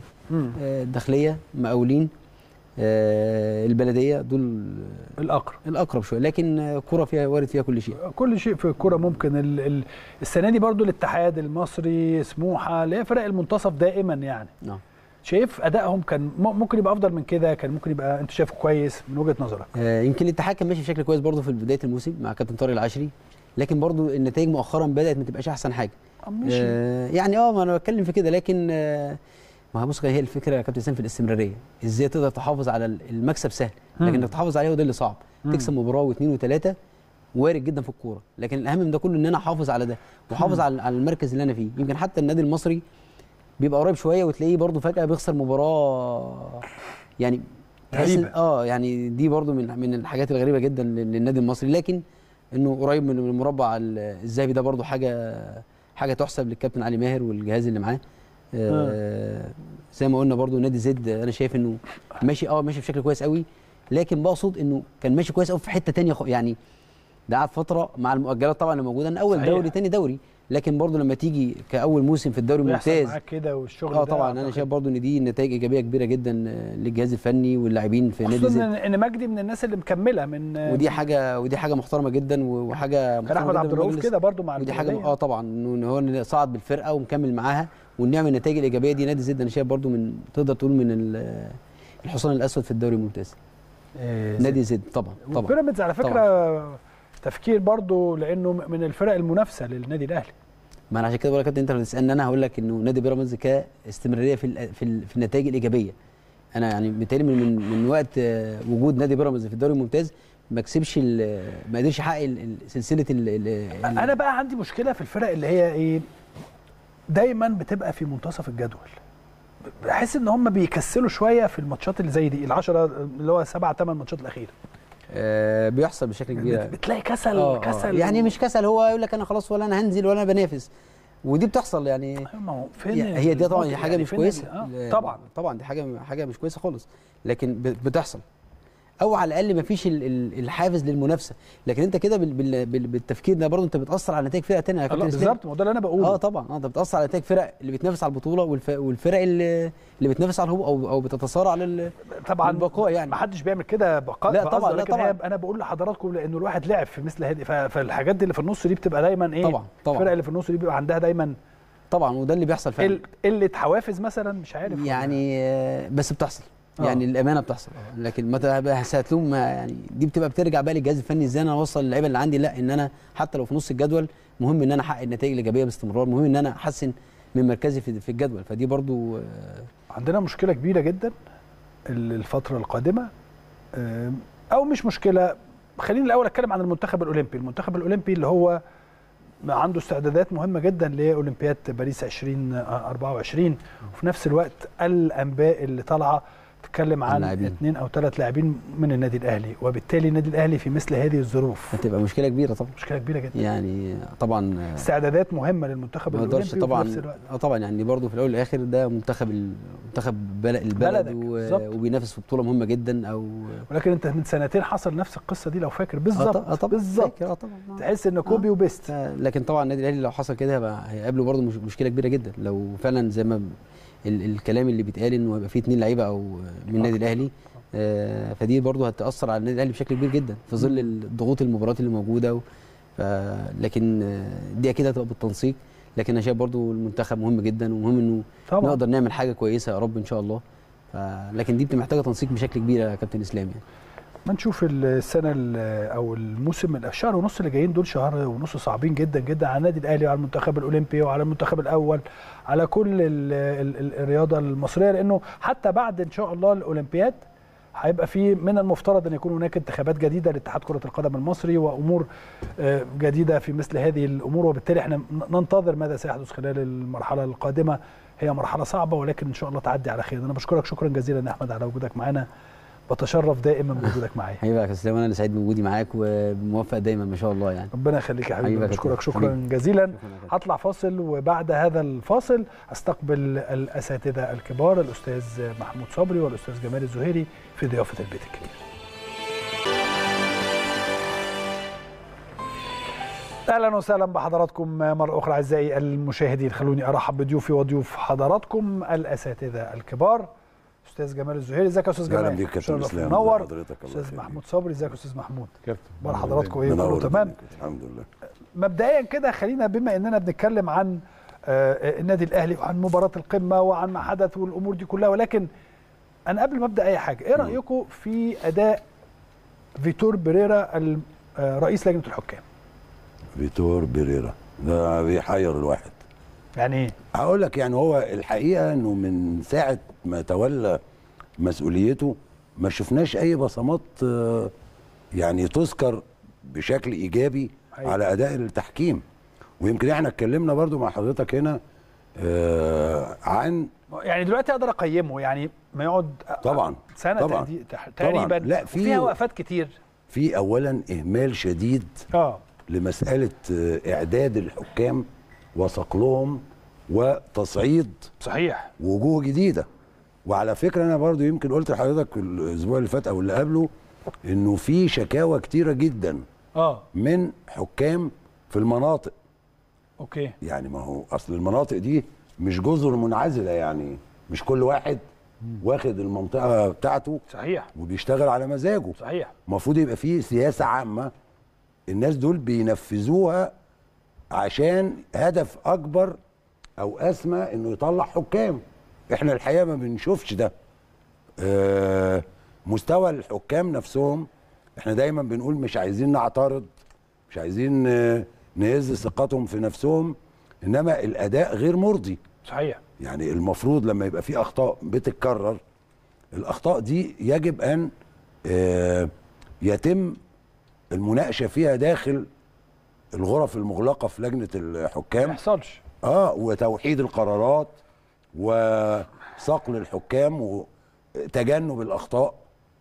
كل الكلام ده طبعا آه، ما أعتقدش إن هو بيعمله يعني مش باين. مش باين أثره على الحكام. مستوى الحكام. من خلال المباريات اللي. بنشوفها أستاذ محمود رأيك برضو في هذا الأمر؟ الموضوع كبير يا كابتن. الموضوع مش سهل وأكبر من بيريرا نفسه. صحيح. أكبر من آه، كلاتنبرج. كنا شفنا كلاتنبرج آه، بعد كانت ال- الضجة الكبيرة جدا عشان نجيبه وبعد لما جه شفت الحملة اتعملت عليه إزاي يعني كانت آه، واضحة وصريحة. السؤال أنت كان إيه هدفك انك أنت تتعاقد مع خبير أجنبي؟ إنك تطور التحكيم. طور التحكيم صح. طبعا. وإنك آه، انت يعني ده ال- ده آه، يعني ده ده الهدف يعني. الأساس آه. ده الهدف. والتطوير ده يظهر بعد فترة يعني مش هنقول شهر اتنين تلاتة. الشهر الرابع لازم إيه؟ المكنة تطلع إيه؟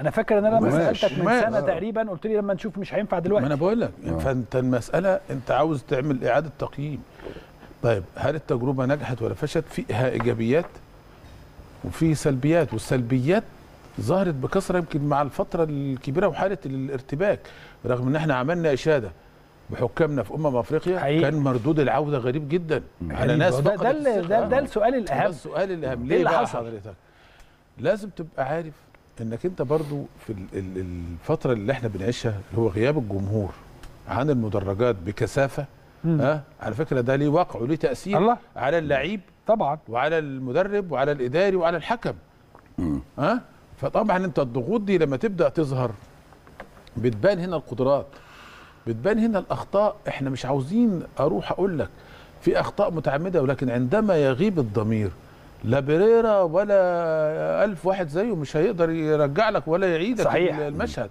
ولما يكون الحكم أصبح شخصيته ضعيفة وسلم نفسه لحكم الفي آر اللي هو قاعد في الأوضة المكيفة مستني هو اللي يديله القرار. خلاص أنت أفقدت الحكم هيبته وشخصيته لأن المفروض بأمانة شديدة. يعني حتى رغم ان الإنجليز اللي هم يعني الأساتذة في في كل اللعبة حاجة طبعاً. في اللعبة في كل حاجة عملوا تصويت يا عم نمشي الفيار بس ده نادي واحد بس. واحد هو واترفض اللي اشتكى. بعد كده كله خلع صح، كله؟ خلع أيوة إيده. كله خلع باعوا يعني وولفرهامبتون ما ماليش حد بعد ما كانت. الضجه وهنعمل ونشيل جابوا عملوا التصويت فاللي أنت عاوز تقوله يا كابتن طيب فترة بيريرا هل هنشوف تقييم للفترة؟ يعني هنقول يا جماعة ال- التقييم عامل إزاي؟ هل أنت شفت النهارده لقطة المباراة الجولة ال- آه، الختامية النهارده في دور الترقي؟ شفت الفرقة نزلت تضرب بالتحكيم والفرقه الثانية ما نزلتش. وتعزف السلام الوطني وبتاع وضربوا كانوا ضربوا القرعة ما بين بعض. شفت انت؟ شفت ختام المشهد ما بين حرس الحدود والسبورتنج؟ خناقة. شفت الخناقة؟ شفت الاسر اللي نزلت أرض الملعب؟ آه. هذه هي التحديات يا كابتن. هي بقى هنشوف بقى هنا القرارات. قرارات مين بقى؟ قرارات إيه؟ لج... المر... هنشوف المراقبين كتبوا إيه؟ والحاجات اللي انت شفتها بعينيك ما أنا بقول لك اهو. والحاجات اللي انت شفتها بعينيك والحكم سجل إيه؟ والر... والرابطة هتعمل إيه؟ واتحاد الكوره هيعملوا إيه؟ أنا مع أنا مع حضرتك ولكن هل من الممكن أقول إن ده بيحصل كله لأنه اتحاد كرة القدم ده مسير للأعمال فقط خلال الشهر ونص الشهرين اللي جايين؟ لا يا كابتن. لأنه لا. في أكمل وعلى حضرتك قول اللي عايزه. ال- خلال الشهر ونص الشهرين اللي جايين دول هو اتحاد الكرة مش هيعمل حق يعني حضرتك عارف إن في انتخابات. بالكتير قوي بالكتير قوي. يا أكتوبر يا أول نوفمبر. صح ولا أنا بقول غلط؟ صح. طيب فأنت عندك ثلاث شهور بحد أقصى. فهو عشان كده يعني مفيش حساب مفيش نظام مفيش. أنا بشوف إن في حاجات كتيرة قوي بتحصل. مش من المفروض إن هي تحصل يا أستاذ محمود دي حاجات بسيطة. عمرها ما كانت بتحصل يا جماعة قبل كده الكلام ده. هو مؤسسة عمل مؤسسي ولا عمل أشخاص؟ لا ما هو أنت اللي تقول لي بقى. أنا بقول لك أهو المفروض عمل إيه؟ مؤسسي يعني أنا ما بشوفش كده بقى، آه. آه تحكمه لوائح ونظم وقوانين لا ده المفروض. المفروض. آه. وأشخاص يديرون هذه المنظمة. صح. يعني إيه؟ جه إسلام مشي إسلام. جه محمود جه محمود صحيح. مشي إسلام. النظام إيه؟ إيه موجود. الكوبايه دي قاعدة ثابتة بالمية أهو. أنا بعمل حاجة بقى أنا أحرك كده هو هو, وأعمل هو كده. نزول الناس الملعب. هو ده محتاج إسلام بكلمك أهو. أنا بقول لك ولا النهارده مشهد. بديهيات. مشهد لأ مشهد في غاية الأسف. والحزن على ما وصلت إليه كرة القدم المصرية. هو في حاجة اسمها فرقتين. فرقتين النهارده فرقتين في مشهد مؤسف الغريب الأسر بقت موجودة بيحاولوا يمنعوا أولادهم إنهم ينزلوا الملعب. حجم. حجم ال- آه، آه، لو كان في لو عارف اللاعب اللي دخل جاب كرسي عشان يضرب ويجري لو عارف إنه هيبقى في عقوبة عارف وعارف إنه في كلام هيعمل إيه؟ هيفكر ألف مرة هو والمدير الإداري والمدرب. لكن المشهد النهارده والله إذا لم تكن رابطة النو- رابطة الأندية. أنا بقول أهو أستاذ أحمد دياب وبقول اتحاد الكورة إذا لم يضرب بيد من حديد بهذه ال ال ال الواقعة المؤسفة المسيئة النهارده لعقاب الجميع ها؟ لو وصل الأمر ما فيش حد يصعد.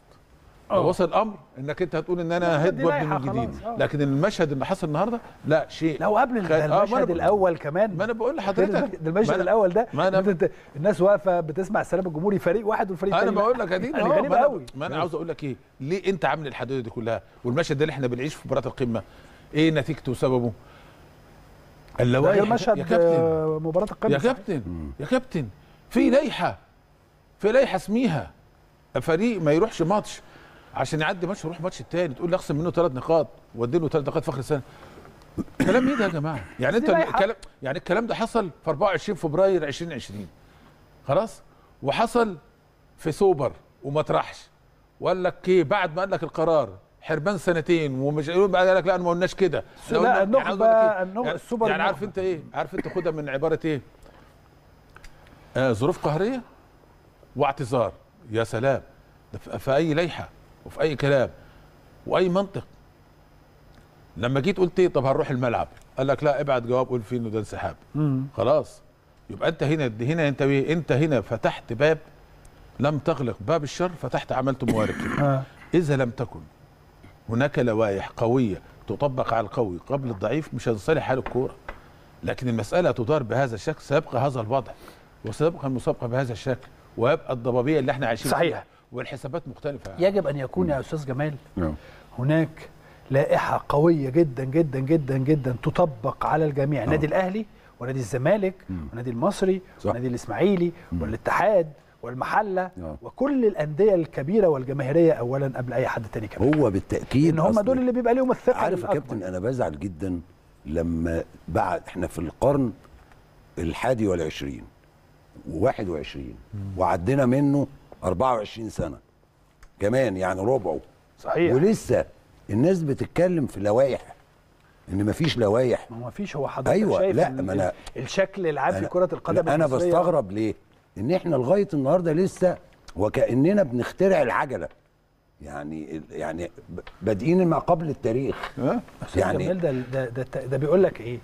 يعني إذا كان هناك لائحة آه. ولا تطبق آه. تطبق على النادي الأهلي تطبق على نادي الزمالك تطبق آه. على كل الأندية صح؟ طبعا آه طيب لو ما كانش لو كان فريق آخر غير النادي الأهلي أيوه. اللي سافر ولعب في كأس العالم للأندية آه. وسافر ولعب في الدوري السوبر الإفريقي تمام. وسافر ولعب السوبر المحلي آه.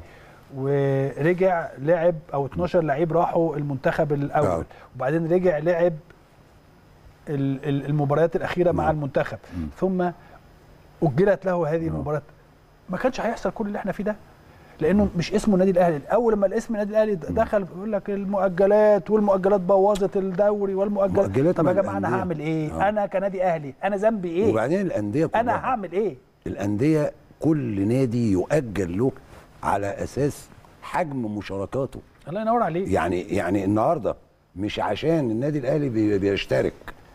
إحنا نقدر نقول باختصار وببساطة النادي الأهلي خلال السنوات الماضية صحيح. أنا بقول إن هو بيحمل لواء الكرة المصرية. بلا شك مع كل الاحترام مظبوط. للجميع على المستوى الأفريقي والدولي حقيقي. آه، بيثبت جدارته.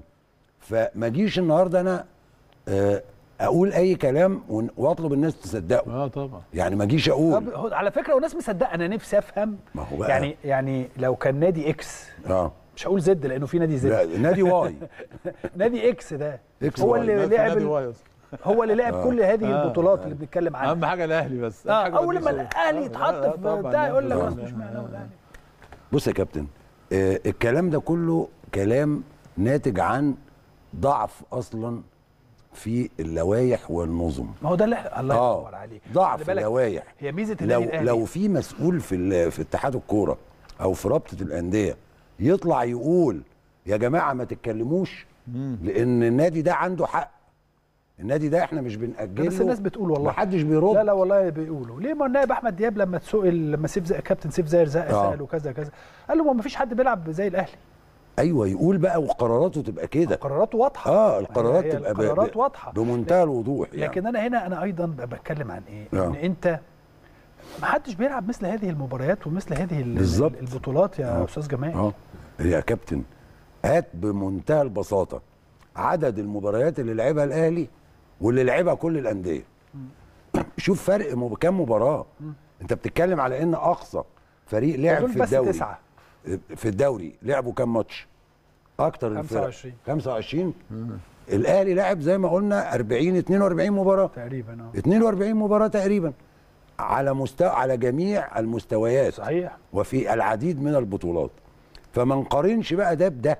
يعني يعني النادي الأهلي لم يطلب لمزاجه إن هو يأجل ومش بيأجل عشان آه، يقعد في البيت أو يطلع مصيف لا عشان يقعد في البيت ويطلع مصيف آه يعني هي إيه هي؟ كده يعني عشان- ما هنقول إيه طيب هيروح يصيف تستريح. يا يعني. أستاذ جمال آه. أنت أصل النادي الأهلي بيتجامل هم الناس عايزيننا نقول كده عشان يا جماعة والله إيه الكلام؟ ده؟ معلش ده كلام أكثر نادي. متضرر في فيما يحدث خلال هذه الفترة من كل يومين ثلاثة ماتش آه. هو النادي الأهلي طبعاً. أكثر نادي متضرر من إن النادي المنافس هو نادي بيراميدز دلوقتي. آه. بيصل لنقطة 62 وأنت عندك 45 الأهلي. خسر بطولة دوري هي كده بنفس بسبب. كده. وبنفس المنتخب بسبب واحد. اثنين آه. اثنين ماتشات اثنين بطولتين. بس كان في واحدة فيهم كمان المنتخب الأولمبي لو متذكرين لما آه. خدوا الشناوي وحد ست كمان. لعيبة من عندك. كانوا في المنتخب الأولمبي. ف- وعاوز أقول لك على حاجة. ثلاثة صح آه تحت ماشي وثلاثه فوق. ماشي انت انت أنت في في الفترة دي هو هو هو رئيس نادي الزمالك لما كان رئيس اللجنه وقتها آه مش طلع ألف تصريح رسمي على الهواء. أنا يا جماعة أنا اتفقت مع الأستاذ أحمد مجاهد على إن إحنا نضغط الأهلي في المؤجلات مش قال آه. تصريح رسمي يا قال. جماعة الناس كلها آه. سمعته وشافته بودان. في حد علق ولا حد مش هو اللي قال إنه جواب الايقاف جالنا وإحنا خبيناه واتفقنا إحنا ما نطلعوش مم. في حد طلع كلمه مش أنت اللي قلت ولا أنا اللي قلت آه. يعني أنا عاوز أقول لك إيه صحيح. محدش طالع قال لك على حاجة صحيح. خدت الب- ال- البطولتين بأخطاء تحكيمية بس؟ النادي بس النادي الأهلي بيتجامل يا أستاذ محمود ما أنا بكلمك آه. أهو. يا أستاذ ليه- محمود. ليه هعمل اللي كده؟ بيني يا؟ أستاذ وبينك. محمود النادي الأهلي بيتجامل بيني بيتجامل. وبينك يعني ما هو بيني بيتجامل. أنت عاوز تاخد كل حاجة مش أنا قلت لك كده طبعا هياخدوا الحتة دي حتى. هياخدوا الحتة دي من بقه يقول لك هو بص بيقول مش عارف إيه. طبعا أنا بتريق يا جماعة اسلام الشاطر يعترف يعترف آه. تصدق صح يعترف، آه. يا جماعة عشان أنا تبقوا خدها عارفين. لك social media على طول آه أنا بتريق ها ما آه بقولش يا كابتن إسلام يعني اللي أنا عاوز أقول لك أنت بتتعرض لحملة ممنهجة طيب عشان دي لا لا دي مهمة. آه. دي مهمة جدا. فعشان الحملة الممنهجة دي أصل أنا كان سؤالي اللي جاي عن هذه آه. الحملة الممنهجة اللي بتدور حول النادي الأهلي. وبيدورها أشخاص عبر واتساب واضحة ومعروفة الله، وأشخاصها وتوزع الأدوار وده يطلع يتكلم في قضية وده يطلع يتكلم في قضية ومسح أنا عايزك ت- ت- تشرح بقى كل الكلام ده ولكن نطلع فاصل عشان فاصل مهم ونطلع فاصل وبعد الفاصل نرجع أوكي. نتكلم على توزيع الأدوار في هذا ال- في هذه ال- ال- الأمور وهذه الحملة الممنهجة اللي ضد النادي الأهلي نطلع فاصل وبعد الفاصل نرجع نكمل أهلا وسهلا بحضراتكم مرة أخرى أستاذ محمود معلش عشان كنت أستاذ جمال بعد إذنك. عشان أستاذ محمود هو اللي كان بيتكلم في هذا الأمر كمل يا أستاذ محمود. اتفضل يا أستاذ محمود أنا عاوز أقول موضوع لحضرتك فيما يخص إن. الموضوع أنت بتتع- بتتعرض لحملة تشويه وتسويف وتضليل بالصوت العالي والحنجرية والصوت العالي والزعيق والخناقات آه. وفرض أمور ها؟ واللعب على إيه؟ على اجتزاء آه عبارات وجمل. وأهم حاجة إن أنا أحاول إن أنا أنال منك. أنا قلتها لك وبقولها لك وهظل اردد هذا الكلام. أنا مش قادر عليك أسيطر عليك في المستطيل. الاخضر هطلع في الاستديوهات أقول إن أنا عايزه. وصل الأمر من حجم الكذب والتجاوز والتجريح من النادي الأهلي أمر يفوق الوصف. وده كلام في منتهى الخطورة. إذا كان البعض يعتقد إنه الآن الفترة دي حالة هدوء. أنا بقول لك جمهور الأهلي مش هينسى الكلام ده. لكل من حاول صحيح. ان ينال من فريقه صحيح. ينال من ناديه. فالأمر في غاية الخطورة وأمر للأسف أنا برضو من خلال متابعتي لم أرى ولم أشاهد أحد من نجوم الأهلي الذين اعتزلوا والذين يظهرون في البرامج حاول بال- بالقريب أو بعيد أن ينال من المنافسين. لكن الآن هناك من يتجرأ من نجوم من لاعبي المنافس بصورة أو بأخرى بحجم الكذب. والكذب إيه؟ والتضليل والادعاء والحلفان بأمور في غاية الخطورة لا لا لا محل لها من الإعراب. المؤسف أنه دخل على الخط أيضا بعض الصحفيين الذين تحولوا إلى مشجعين. ماشي؟ بصورة أو بأخرى. كل الواحد بيبحث عن الليلاه وعن هدفه. إن أنا إيه؟ أهم حاجة الأهلي الذي أصبح مصدر رزق لناس كتير جدا من محاولة إنك أنت التجريح والتطاول والكلام ده فبحاول إن أنا أعمل إيه؟ أحط ابقى الترند. الترند بقى كارثتنا في اللحظة دي يا كابتن اسامه ال ال ال الكلام اللي هيظهر في الأيام الجاية وهيكون في موقف أن هناك مجموعة اسمها مجموعة الواتساب. أيوه. مجموعة واتساب معروفة بقودها صحفي معروف من مجموعة توزع الأسئلة والأفكار على مجموعة برامج. هدفها الأساسي إن أنا إزاي أحطم معنويات الأهلي. إزاي إن أنا ده حقيقي يعني. آه طبعا. إزاي إن عندك- أنا أشوه. إزاي إن أنا وصل الأمر إنها تخطط الحدود. تخطط حدود إيه؟ الوطن. إلا إنك أنت عندك برنامج واثنين في أحد الدول العربية وده أمر غريب جدا وأمر في غاية الخطورة. ها وأطالب بإدارة النادي الأهلي بيكون لها موقف في شؤونها القانونية في المرحلة اللي جاية. لأنه ما ينشر أمر يحاز أنا بقول لك أهو تخيل إنك أنت لو اتكلمت عن هذه الدولة أو اتكلمت عن دوريها أو اتكلمت شوف الرد الفعل يبقى عامل إزاي. أه لا يا جماعة الأهلي ما يستاهلش كده. وبقول إنه إدارة النادي الأهلي مطالبة ببعض الأمور. برنامج في الإمارات برنامج في العراق برضو لمنتمي لمنافسين. ومن خلال برضو إيه؟ من خلال أفكار الواتساب برضو اللي بتوزع ليه الهدف واضح. يا جماعة الهدف واضح هو الضغط على الأهلي هو تشويه الأهلي. مش هنا بس لا بره لكن الناس اللي عندها الحقيقة عارفة قيمة ومكانة الأهلي. الأهلي مش منتظر من دول يقولوا له كلمة حلوة لا مش هيقولوا لأنه عارفين حقيقته بتبقى إزاي. أنا شايف إنه الأمر في غاية الخطورة. أمر آه، زاد عن الحد يتوجب آه، بأمانة شديدة في اتخاذ خطوات ضد الناس دي لأنه المشهد اللي إحنا شايفينه مشهد آه، غريب جدا علينا. إحنا وصلنا في حجم التراشق الأهلي ما بيردش ومش هيرد. طبعا دي معروفة السياسة. مدار الأهلي كله وتاريخه إعلامه كله ما بيتكلمش على رد لكن أنا شايف إنه الوضع في غايه الخطورة آه، الخطورة يا كابتن إسلام وأعتقد إنه لازم يكون في خطوات على فكرة تصعيدية في الأيام اللي جاية. أستاذ جمال. شوف يا كابتن آه، أول حاجة طبعا أنا مش آه، يعني يعني مش بعقب على كلام محمود. آه لكن هو الحق دي حقائق موجودة سواء كانت ظاهرة أو مختفية. في ناس مش مرتاحين وده وضعهم ودأبهم منذ عشرات السنين من خلال شغلنا يعني وإحنا عارفين إن دي في أجندة كده عند ناس إن هو مش قادر يكسبك بيحاول يبوظ لك الدنيا لكن برضو لازم نقول حاجة مهمة جدا إن النادي الأهلي ما شاء الله ما شاء الله على مدار السنين هو الأكبر هو الأنجح حقيقي.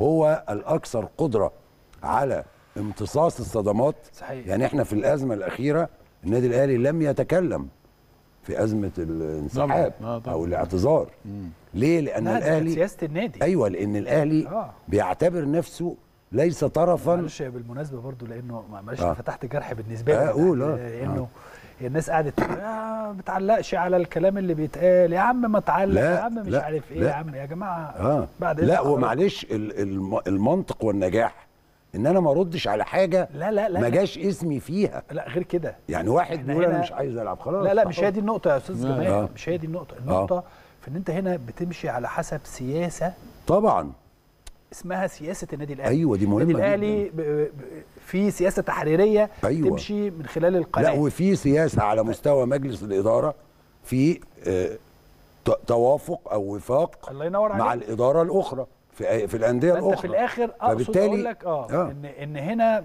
مش كل واحد بيطلع يقول وجهة نظره أنت بتتكلم عن سياسة طبعاً. تخص نادي كبير لأن أنت بتمثل النادي الأهلي وسياسته فممكن جدا آه. ابقى أنا عايز أقول آه، رايي الشخصي لكن ما ينفعش أقول رايي الشخصي لأنه أنت بتمثل النادي بالظبط. بس لكن كويس ان حضرتك لكن. آه في الإجمال نقدر نقول إنه النادي الأهلي الصمت ليس معناه ضعف حقيقي النادي الأهلي لما الدنيا بتستدعي الرد لا النادي الأهلي بيرد وردود قوية جدا على أي حد.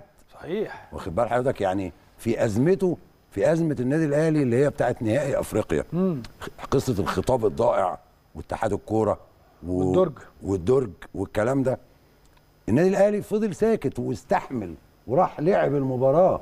ما هو احتراما للبطولة. حقيقي. واحتراما للأطراف الأخرى. حقيقي. وراح لأن هو بيمثل مصر. فراح ولعب وحتى خسر ورجع وما زالت ال- الواقعة معروفة وتم التحقيق فيها ولم يتخذ فيها إجراءات. صحيح. ولكن النادي الأهلي آه، قريب جدا كان مطلع خطاب أو بيان ضد اتكلم فيه هذا التحكيم واتكلم فيه عن القصة دي. صحيح. يعني النادي الأهلي أقصد إيه؟ ما بينساش. لا هو آه، النادي الأهلي بس هو له مواقفه في الوقت المناسب. حقيقي. وده شيء يحترم على فكرة طبعاً، طبعاً. والتركيز برضو في المرحلة الجاية دي يا كابتن إسلام مهم جدا الله. لأن أنت لو رديت على كل الناس اللي حواليك دي ما هو معلش يعني في ناس فضيت مش في مش في ناس فاضية دلوقتي هيقعدوا يتكلموا لك طبعا آه، آه، أنت دلوقتي مركز في مهمة معينة خلاص المهمة خلصت لا انت لا إحنا ك يعني أنا بتكلم عن. النادي آه، الأهلي. أنت مركز في مهمة معينة عندك مباريات متلاحقة صحيح يعني زي ما عارفين كده طيب عشان بس 15 أنا ح- مباراة. آه هسألكم عن هذه المباريات وعن تمام. الفاركو تحديدا والمباراة القادمة. خلينا نطلع نشوف إنفوجراف عن مشوار النادي الأهلي ومشوار فاركو ونرجع نتكلم بقى في هذه المباراة ماشي. المهمة جدا أستاذ جمال زي ما حضرتك بتقول آه. 15 16 مباراة في 45 يوم في آه يعني طبعا كم من يوم مباريات 28 آه. يونيو ل بالظبط. تم- ل 18 كل. ثلاث أيام تقريبا بتلعب مباراة وبالتالي آه حتى المدير الفني والجهاز الفني مش بيلحق يدرب الفرقة صحيح فمش ناقص بقى كمان ترد أو تنشغل بما يقال لأن ما يقال مش هنخلص أنت لازم تركز في المهمة بتاعتك والحمد لله ده أنت وصلت لمرحلة إن أنت في المركز الثاني ولسه ليك مباريات مؤجلة كتير وبالتالي مهمتك الأساسية دلوقتي هي جمع النقاط واخد بالك أصعب نقاط يا أستاذ جمال نعم أصعب نقاط أصعب اللي نقاط. جاية. وأصعب نقاط وخاصة؟ إن مع هتلاقي فرق بقى بت أيوه و- صحيح. ده دي أصعب مباريات بقى اللي هي المباريات مع الفرق آه، وأولهم طبعا ومنهم فاركو, فاركو. اللي هم بيحاولوا يبعدوا عن شبح الهبوط دي بتبقى مباريات صعبة جدا امل دلوقتي بعد أيوة. الفوز آه. على الاتحاد خلي بالك بالظبط. وبدليل إنه مستر كورة حذر اللعيبة وقال لهم أنا اتفرجت على الفرقة وشايف إن مستواه بيتطور من المباراه الاخرى فريق طبعاً. كويس جدا آه فرقة عنده ال- آه وعملت مباراة على فكرة خسارتها قدام الزمالك آه، 2-0 وكان ليهم ضربة جزاء مشكوك فيها واضحة يعني وضوح الشمس ما حدش اتكلم عليها ولكنه خلاص دي عدت اتكلمنا إحنا. آه عدش يعني يعني عاوز أقول لك. هي عدت عشان آه. ما, آه. ما لهمش صوت فخلاص مشيت فلا عاوز أقول لك إنه مباراة صعبة انت عندك مباريات فاركو مباريات آه، طلائع الجيش آه. داخليه والداخلية آه دول ثلاث يعني ثلاث مباريات في غاية ال- ده دول. ثلاث مباريات ورا آه. بعض. آه آه. ده هتلعب مع طلائع الجيش مرتين آه. وفاركو بعد فاركو. صحيح. و- آه. والداخلية. والداخلية، وبعد صح. كده هتلعب مع بيراميدز. آه. فأعتقد إنه ما إيه أنا شايف إنه هدية ال- ال- القمة هدية مقبولة. إنك أنت ريحت نفسك هتاخد نفس برضه آه لأنه. الفترة اللي آه جاية صعبة. طبعا مهمة جدا. تشم نفسك تريح تشوف. تفكر وتعمل تباديل وتوفيق مهم جدا إنك أنت تتجاوز المباريات دي بأقل الخسائر وإنك أنت تكون حريص اللعيبة نفسهم لازم يكون زي ما يعني يمكن حصل في مباراه الداخلية وانفعال كولر على ال- اللي حصل في المباراة وكانت ممكن في وقت من الوقت تفقد نقاطها كل فرقة عنديها أمل في البقاء هتقاتل على كل لحظة مم. فأنت لابد يكون دوافعك أقوى إنك أنت تقضي على ال على ال على إيه على طموح الفرقة دي إنك أنت لما تجيلك فرص خلص أنت هدرت كمية فرص في الشوط الأول في المباريات الداخلية كان ممكن تطلعك 3 4 0 شيء غريب جدا تريحك آه، 3 4 وتريحك بقى وتخليك تطلع ال- الخمسه الخمسة اللي بتغيرهم وتنزل ناس ثانية وتريح لكن ما صحيح. أعرفش في حالة الحسم. المبكر أيوه. طبعا. فأعتقد إنه مباراة فاركو? ومباراة الطلايع ومباراة الداخلية دول تسع نقاط مهمين جدا قبل مواجهة بيراميدز لابد إنك أنت تخرج منهم آه، يعني سالم. إحنا طماعين. ها؟ مش دول بس. ما أنا بقول لك قبل مواجهه قبل مواجهه المنافس المشكلة انه قبل مواجهه المنافس آه طبعاً. المشكلة يا أستاذ محمود إيه؟ إنه الأهلي ما عندوش رفاهية لا ما عندوش. ان هو يفقد نقطة. مش هتلحق. ما عندوش الرفاهية لا ما دي. عندكش وقت كمان. يعني ما عندكش وقت. آه. والموقف صعب جدا. حقيقي. أمام آه، بيراميدز اللي هو شق طريقه يعني يعني استغل جيدا وده هم يعني يشكروا عليه هم كفريق إن هو استغل غياب آه، الأهلي ولم يف- يفرط في نقاط ما هو ده, صحيح. ده كان الذكاء آه. يعني ده أيوة. نفس اللي عمله آه نادي الزمالك آه بلجنة آه حسين لبيب لما آه. كان إيه كمل هو الدوري لغاية ما انهاه وساب لك أنت إيه بالظبط. المؤجلات وأنت بقى صح. المؤجلات أنت بقى إيه خلاص أنت لازم بقى حطيتك بقى. أنا تحت آه. ضغط بقى آه. فأنا أعتقد إيه أنت من الخبرات مطالب إنك أنت هتلعب كل مباراة طبعاً. إيه طبعا. بطولة خاصة في حد. ذاتها فأنت آه. متجاوز إنك أنت تتخطى المباريات حتى تصل لمواجهة المنافس. في مباريات المنافس بقى مش عايز يعني مباريات المنافس دي تعتبر نفسك هي البطولة. يعني آه. إيه؟ إنك أنت بتحط كل واحد بدراعه. أيوه كل ما أنت بتضيف نقاط كل برضو ما بتزيد الضغوط. فأعتقد إن الحسابات ودي الوقت والموسم لابد يكون طبعا الجهاز الفني عنده حساباته. هو ليه تجربة ونجح فيها بامتياز 100% في الروتيشن في الموسم التاريخي. آه وخد خمسة من خمسة. أعتقد إنه الحسابات برضو المرة دي هتكون آه آه قوية جدا. أعتقد هو عارف حجم اهميته النقطة. أعتقد إنه تركيزه وكلامه وتوجيهاته للعيبة في الفترة دي أعتقد ده شيء مهم جدا. إن شاء الله يكون التوفيق حالف الأهلي. بدءا من مباراة فاركو واستمرارا إن شاء الله الله الله. تعالى. للحصول على اللقب والحفاظ على اللقب بإذن الله تعالى. بالظبط. لقب 44 بإذن الله. ده حقيقي و يعني هي المباريات كمان الثلاثه المتتالية الفاركو الجيش في ماتشين قبل مباراة بيراميدز. دول مهمين جدا عشان تدخل تقابل بيراميدز في أول صحيح. مباراة. وأنت واقف على وانت- يعني على الأقل عندك آه. آه. يعني وبالتالي ده مش معناه إن الماتشات اللي بعد كده مش مهمة لا, لا لأ, لا. أنت ماتشاتك كلها مهمة. كؤوس. صحيح. انت بتلعب دلوقتي كؤوس في دوري. مظبوط. آه سيبك بقى من الكلام اللي بيتقال وده اصل اتجامل ده اتعمل متجامل في إيه؟ أنا مش فاهم يعني. يا سيدي. أنا جت يلا خليها علينا إحنا خليها يعني. عليك أنت المرة دي عشان ياخدوا منك أنت ويقولوا ما أيوة. ياخدوش مننا كل حاجة. خليها عليا أنا خليها عليا. طيب نتمنى يا رب كل التوفيق للنادي الأهلي. زي ما. قلت لحضراتكم آه، أسبوع صعب جدا أو مش أسبوع هو شهر ونص صعبين جدا جدا على النادي نعم. الأهلي خلال هذه الفترة لأنها فترة صعبة لا يحتاج فيها النادي الأهلي إلا لجماهيره إلا لحضراتكم صحيح. مساندة ودعم حتى لو لقينا شوية خستعة شوية من اللعيبة أرجو من حضراتكم إن أنتم تعذروهم لأنهم صدقوني والله أنا ببقى شايف وعارف الحاجات دي كويس جدا آه، بيبقوا نفسهم بس مش قادرين لكن إن شاء الله شاء الله. لعيبتنا قدها وقدود ومع الراحة ومع الروتيشن اللي بيعملها كولر كل حاجة تبقى كويسة ولكن مساندة حضراتكم ودعم حضراتكم خلال الشهر ونص اللي جايين مهمين جدا جدا جدا. أنا بشكرك. شكرا شكرا كابتن. اسلام ربنا يخليك شكرا جزيلا يا أستاذ محمود. أنا بشكر حضراتكم. شكرا جزيلا. كانت هذه حلقة نهاية الأسبوع. إن شاء الله نلتقي مع حضراتكم مع بداية الأسبوع القادم وحلقة جديدة من البيت الكبير.